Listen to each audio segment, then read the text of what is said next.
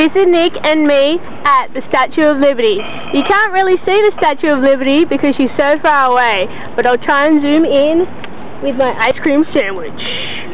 This is me, and ice cream sandwich, and New York bag. I love New York. Um, hang on.